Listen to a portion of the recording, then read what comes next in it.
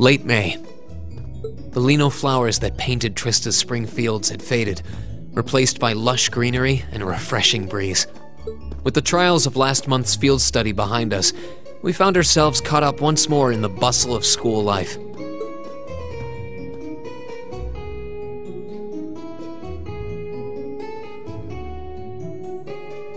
Both our combat training and academic studies continued to become more and more demanding. But May also heralded the beginning of specialist classes more befitting a military academy.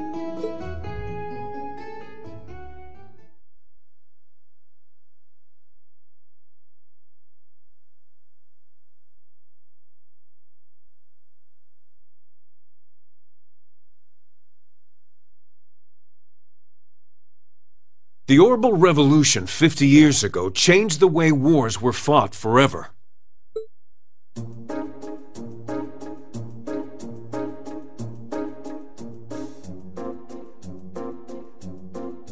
There are a number of reasons for this fundamental change, but four factors in particular that I would argue to be the most important.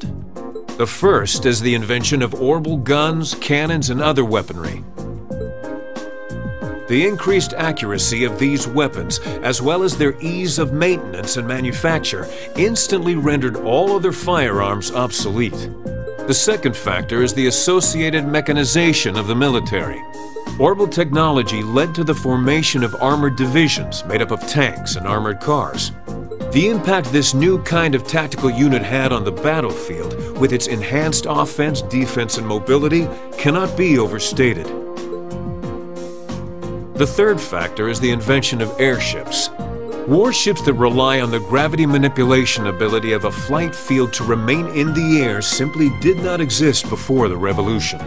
The sudden addition of a whole new dimension to war, the sky, made countless new strategies viable that were previously unimaginable. And the last factor is the creation of an entirely new practical science, which may be the biggest, most important change of all. Without orbal technology, such a concept would scarcely even have been conceivable. But now we'd be virtually crippled without it. Rean Schwarzer, can you tell the class what that new scientific breakthrough was?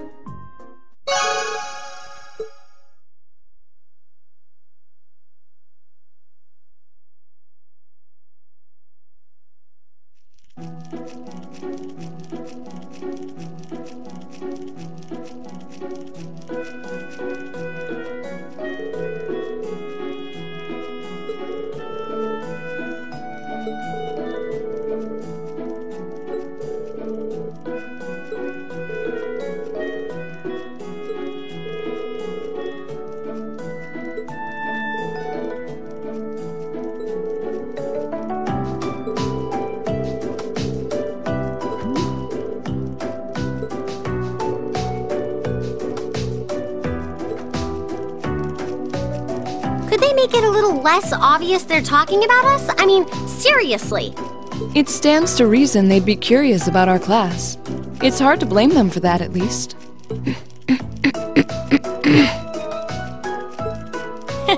I think you've whisked that plenty already.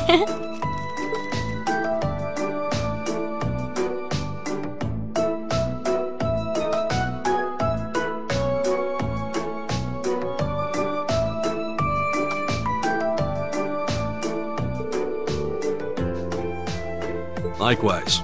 I was lost at first, but it's slowly beginning to make more sense. Well, it is cutting edge technology here in Erebonia, so I think most people are confused until they've gotten used to it. Machias and Jusis both picked it up surprisingly quickly, though.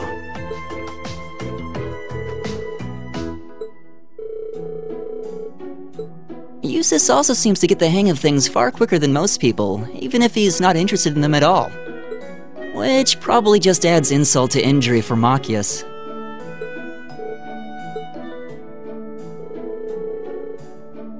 They were. At one point, things almost took a violent turn. We were able to hold them back, but I don't think we could have kept them under control for long if Instructor Sara hadn't arrived. we really need to do something about them, but I have no idea what. Rean Schwarzer. Huh? Isn't he from Class 1? That is correct. My full name is Patrick T. Hyarms. I don't believe I need to say anything more than that. What? Are they prestigious? About as prestigious as they come. The Hyarmses are one of the four great houses, though they're slightly lower in rank than the Albareas. I- I'm sorry. I meant no offense. It doesn't matter. I didn't come here to talk to commoners or foreigners. I came to bring gladsome tidings to you, Rean Schwarzer. I am generously extending you welcome to make use of the accommodations on the third floor of the Student Union building. The third floor? That's where the noble Salon is, right? Your father may be a mere baron, but that still makes you a noble. And though you've had the misfortune of sharing a class with this riffraff, I have decided to use my good name as a member of the Hyarms family to afford you the privilege of joining us. I do hope you appreciate it.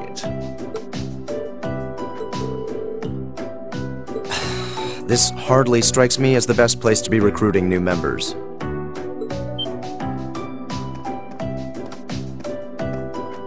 Uh, Jusis Albarea? I wasn't aware the third son of the Hyarms family counted playing factions among his hobbies. If you wished for company in the salon, should you not have come to me first? You?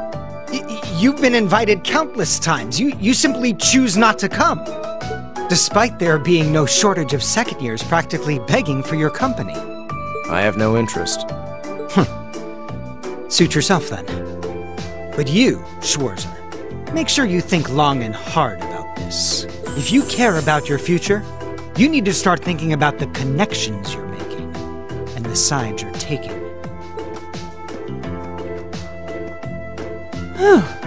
He's certainly not shy.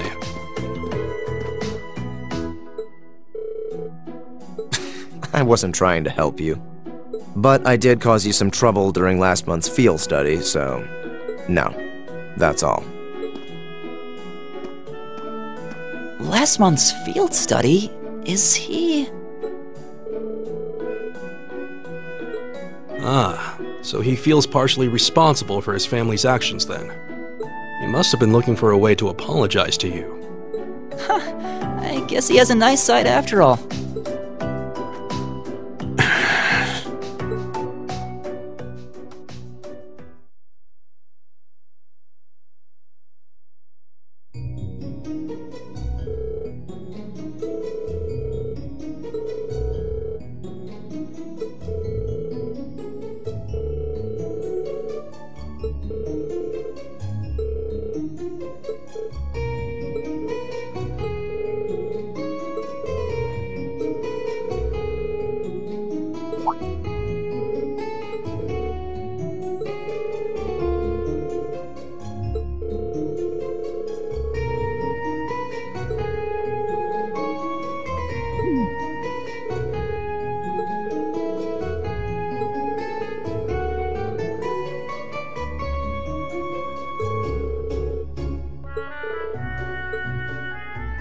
Rise.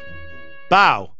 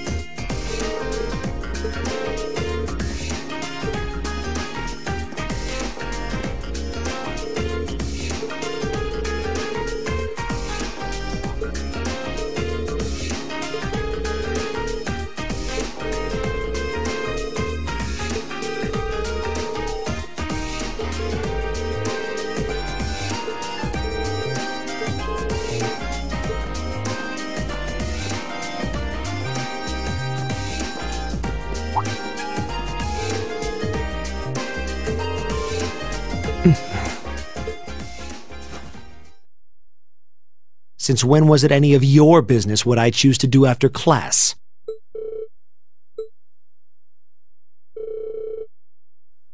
Not especially. It's actually my fault for being deceived so easily in the first place. Let's just say I haven't got a drop of noble blood in my veins. So I guess we're all in equal standing here. Save your breath. Whether you're a noble or not is beside the point. The bottom line is you lied to me, and I simply cannot trust those who lie. That's all there is to it.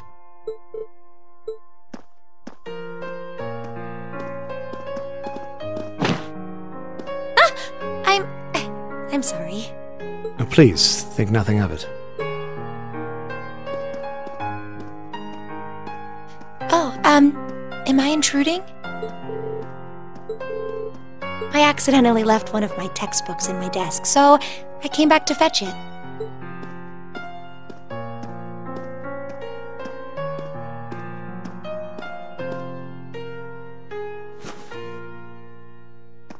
Ah, here it is. Take a look.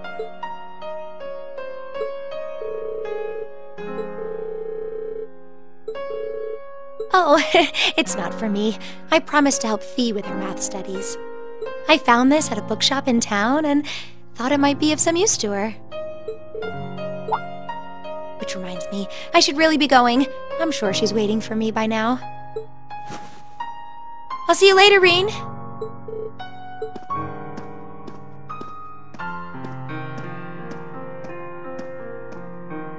And don't worry. I'm sure Machias doesn't hate you or anything.